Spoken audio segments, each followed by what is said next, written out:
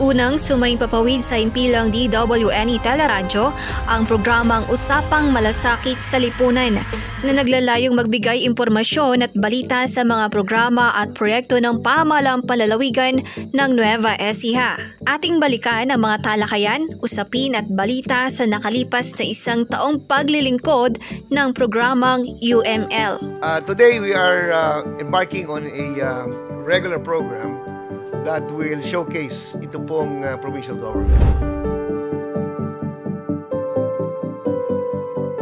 Alam nyo ba na ang Nueva Ecija ang kauna-unahan sa buong Pilipinas na nagkaroon ng Provincial Food Council? Nag-create ng uh, Provincial Food Council na kauna-unahan sa ating lalawigan. Dito lamang po sa, uh, I mean sa buong uh, bansa. Dito lamang po sa uh, lalawigan ng Nueva Ecija ito uh, meron sa ngayon. Pali, noon pa pong una na isip ko na kaagad that this will call the attention of the national, I mean sa national government. At hindi nga ako nagkamali dahil sa kamakailan ay si uh, Secretary Dar ang uh, pumupuri. Uh, nauuna doon yung sa uh, National Anti-Poverty Commission dahil sa ito po ay talagang uh, sa biglang tingin ay nakikita nila na direktang uh, ang tama nito, direkta solusyon doon sa problema ng ma, ating mga magsasaka sa ngayon. Dahil sa nakaharap na naman ng ating mga magsasaka sa mababang presyo ng uh, palay, na binibigyan natin kahit paano sa abot ng ating kakayahan ay mabigyan natin ng solusyon. Of course, hindi maging perfecto, maraming maging problema. Pero importante, gagawa tayo ng solusyon. Malasakit sa kalusugan. Uh, we'll make sure that the all our district hospitals will be able to provide the this this kind of uh, treatment. Oh, itong animal bite uh, treatment center. And uh, I, I hope that the uh, our 10 district hospitals right now we have ELJ and uh, Gabaldon. The others hindi pa no? Wala pa. so out of 10 dalawa yung ating hospitals that can uh, are certified animal bite uh, treatment center hopefully hindi naman pala ganun ka tedious yung proseso I really uh, require the our chief of hospitals to look into submit a plan. Alam nyo ba na sa Nueva Ecija matatagpuan ang kauna-unahang Drug Rehabilitation and Treatment Center sa buong bansa na pinatatakbo ng isang LGU? The very first drug rehab na bubuksan po natin hopefully sa November ay the very first drug rehab hospital na kompleto na merong psycho-social, psycho-spiritual na ibibigay ng ating ang saklay partner.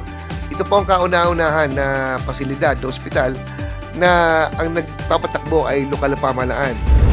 Malasakit sa mga kawani.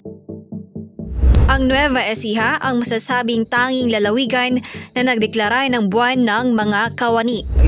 Kauna-unahang pagkakataon po sa kasaysayan ng civil service, um, tanging ang pamahalang panglalawigan lamang po ang uh, magdideklara na sa kalakhang lalawigan ng araw ng mga kawani ngayong uh, September. Ito po ay uh, formal na hiningi ng uh, Civil Service Field Office po at uh, inendorso po ng uh, ng inyong tanggapan sa uh, Sangguniang Palalawigan. Ang totoo po naman ang tunay na lakas at puso ng pamalang palalawigan ay po mga kawani. OFW Malasakit Help Desk Kung ano man po yung kayang itulong ng provincial government ay kami po ay nakahanda uh, ito po naman ay hindi lang trabaho, no? Kasi naniniwala kami na ang Panginoon talaga ay gumagalaw sa bawat isa. Malasakit sa katutubo. Po si Governor Cherry po ay uh, na-awardan ng uh, ng Seal of Good Governance ay nag sa unang probinsya po na nagkaroon po ng uh, representative na board, uh, board member na IT ang Nueva Ecija po. Usaping bayan. Isang mainit na issue uh, halos sa lahat sa buong Pilipinas ay uh, pinag-uusapan?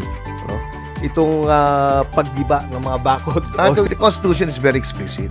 No person shall be deprived of life, liberty, property without the due process of law. As a matter of fact, tayo sa provincial government are mindful of the constitutional provision na whenever we come up and come up with a bypass road na privately owned, before we even undertake, the very first step is for us kung di natin kayang ayaw pagbenta, that's the time we uh, exercise yung one of the inherent powers ng ating uh, uh, ating LGU uh, which is the the eminent domain.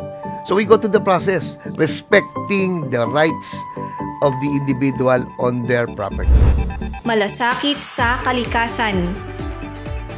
Meron din tayong mga pagbisita sa ating ah, Freedom Park, no? Di, ang kung saan po yung mga puno ay nire-respeto at ah, hindi po ah, pinuputol. So ito pong uh, pag-preserve ng Freedom Park ay mensahe sa lahat po ng ah, LGU na the development ah, is accepted but the development of any area should respect the nature. Ah, kung dadaanan ng kalsada, yung kalsada na po ang, ang, ang lumiko, gawa ng paraan. Hindi po yung puno. Sapagkat ah, sa dami po ng ah, mga puno na ito na ito po ay uh, mahigit sandaang taon na ay magagamit po sa saling lahi. Malasakit sa kabataan. Marami tayong ano, marami tayong bisita. Ah, yes. Ranging from yung tatawagin natin mga scholars natin Yes. na ngayon ay ganap ng ah, nagbigay ng parangal sa ating uh, pamalaang palalawigan and at the same time yung ating mga mga SEA Games Mga atleta. athletes no? and there's so many that we can discuss today kwento lahat po ng tagumpay. Tagumpay na nagmula sa pagsisikap, paghihirap at pagmamahal nila sa kanilang ah, kanilang mga pangarap na marahil po ngayong araw na ito ay bibigyan natin ng parangal ang mga kapupulutan natin ng inspirasyon sa buhay. Malasakit sa edukasyon. In support of the Department of Education sa blended learning and uh, pursuant to the uh, statements uh, issued by the President, ito po malaking uh, hamon dito sa ating lahat. How can uh, the students be allowed to go uh, physical class? And if there is no physical class, how do we able to help them? Number one, ang ating lalawigan po ay merong uh, provincial radio station. At meron din po tayong, uh, ito nga po, TV48, na also being uh, operated by the provincial government. So these are modules, uh, mediums by which the uh, Department of Education is looking uh, into, uh, sabi ko nga, gamitin nila. Plus, the, the provincial government po, ang ating uh, SEF, ang ating uh, Provincial Local School Board, will be sponsoring po yung pre-internet sa ating po mga pampublikong uh, estudyante. At livelihood program.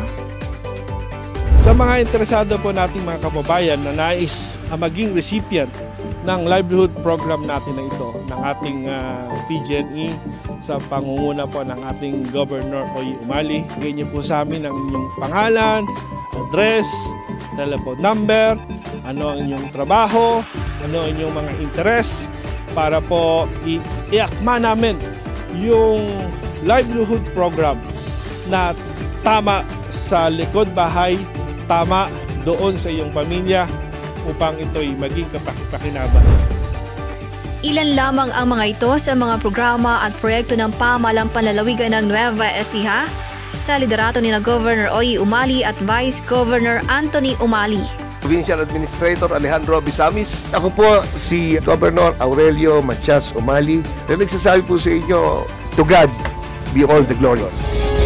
Ito po ang usapang uh, malasakit sa pembangunan Pakistan Umar Ang Revisi